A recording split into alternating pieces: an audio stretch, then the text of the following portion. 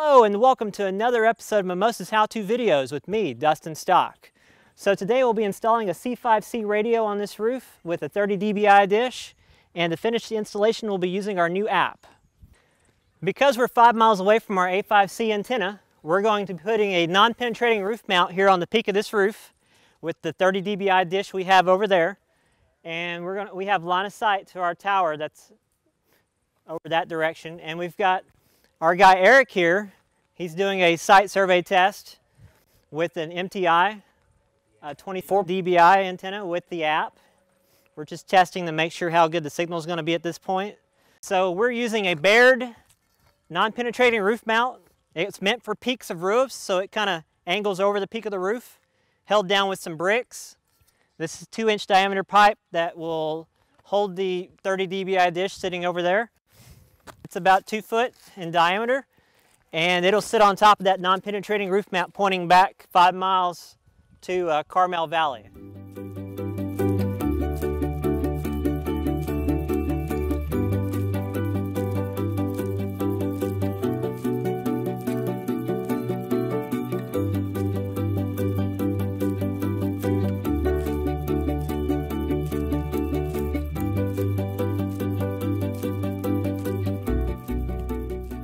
So now we're going to use the app to configure the radio through the G2 and then we're going to align the dish after that to finish our installation. Now that we're in the app, we're going to go ahead and sign in here.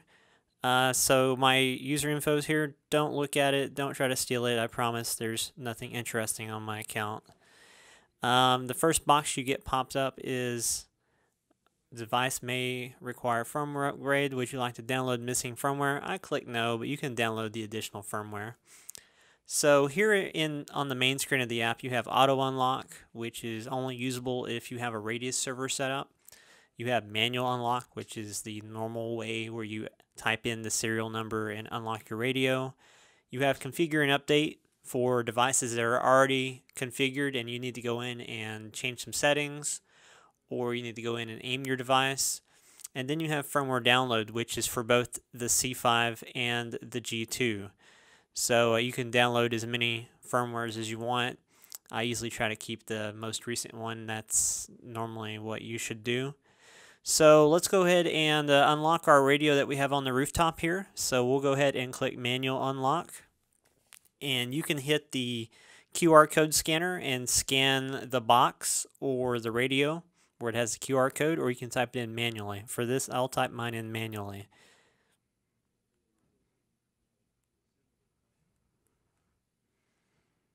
And so I've got my unlock code here. We're going to unlock via G2, so I'll hit the G2 button. Uh, this tells you how to hook up your G2 to your C5, and we'll hit next. So it's going to search for G2 networks here, along with all other 2.4 enabled networks. So just use the wireless information card that came with your G2 to pick out the correct one. Uh, mine is Mimosa 424, so I'll go ahead and hit connect and type in the password.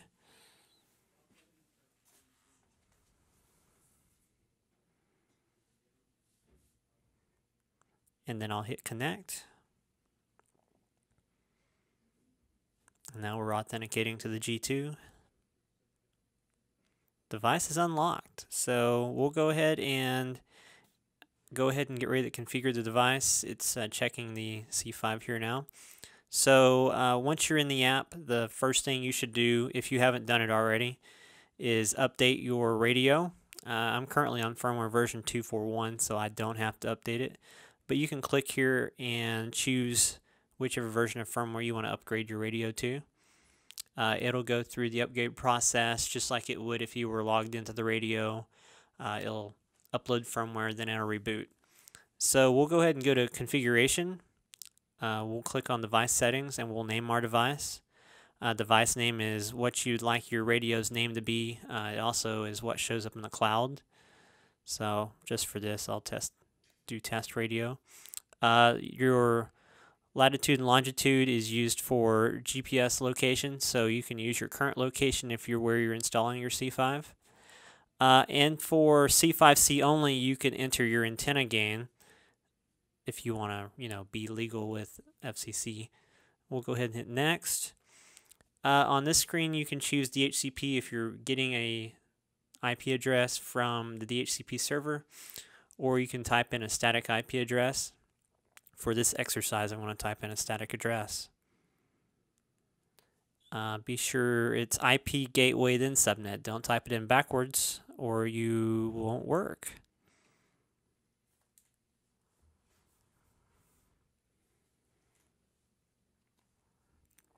And once I have that info in there, I'll hit next.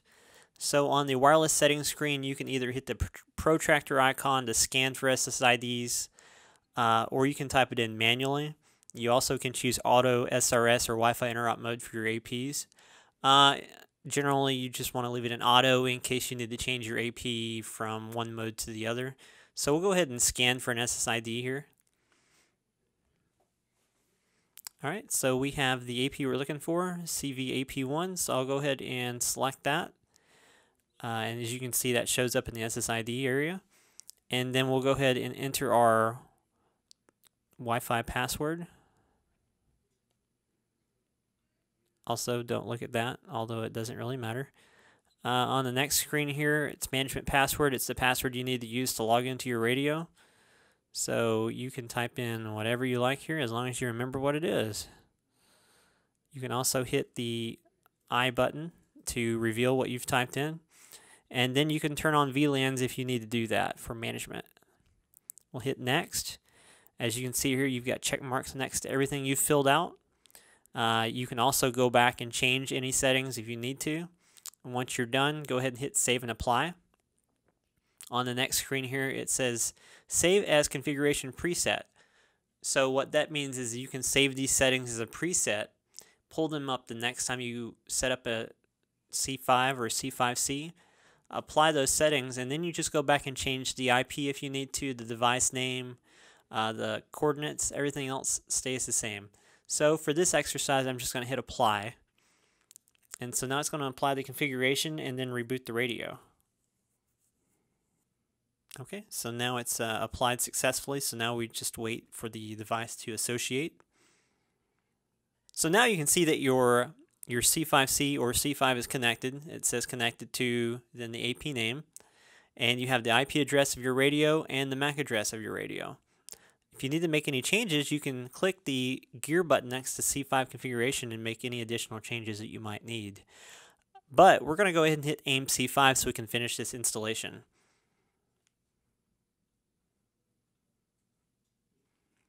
So as you can see, we're currently at neg 53 uh, dBm.